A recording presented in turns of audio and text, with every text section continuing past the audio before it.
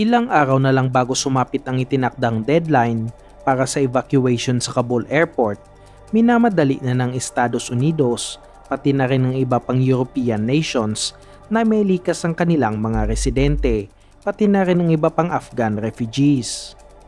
Sa ngayon, nasa 82,000 refugees na ang nailikas ng Amerika habang nasa 1,500 Amerikano pa ang hindi nailikas sa lugar pinangungunahan ng mga C-17 Globemaster III transport aircraft at mga C-130 Hercules ang evacuation sa Kabul Airport at nagpadala na rin ng labing walong eroplano ang mga US airline companies. Tinuturing ang operasyon na ito bilang isa sa pinakamalaking airlift evacuation sa kasaysayan. Kinokonsidera din ni US President Joe Biden na palawigin pa ang evacuation lagpas sa itinakdang deadline at nangakong bibigyan ng tahanan ang lahat ng Afghan refugees sa Amerika.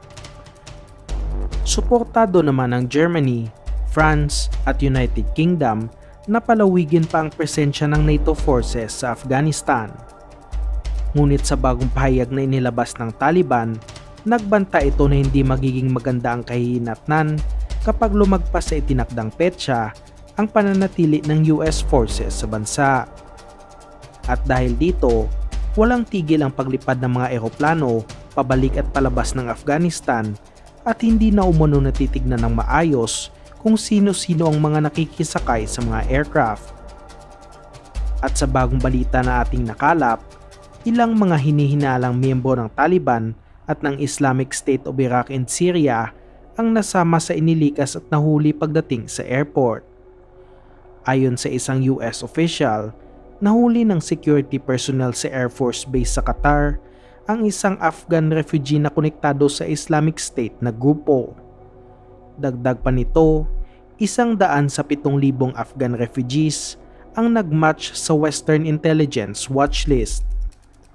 Nahihirapan din umano ang mga otoridad pagdating sa screening ng mga dumadating na refugees dahil sa libo-libo ang mga ito at inaasahang mas dadami pa sa mga susunod na araw. Mas lalo pa nilang hinihigpitan ang seguridad sa mga airport at nire-register na ang lahat ng lumalabas ng Afghanistan.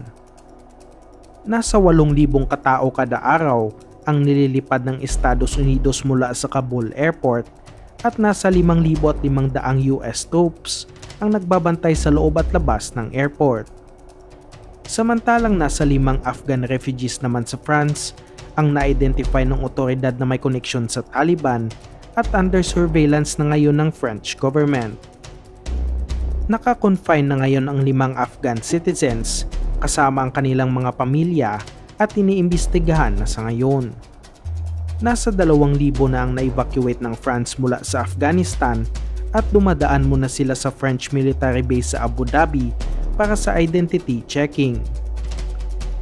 Naibalita na rin noon na handa ang Pilipinas na tumanggap ng Afghan refugees sa bansa hanggang sa kaya ng Pilipinas tustusan ang kanilang pangangailangan at nakadepende kung ilan ang tatanggapin sa inilaang pondo ng Pilipinas.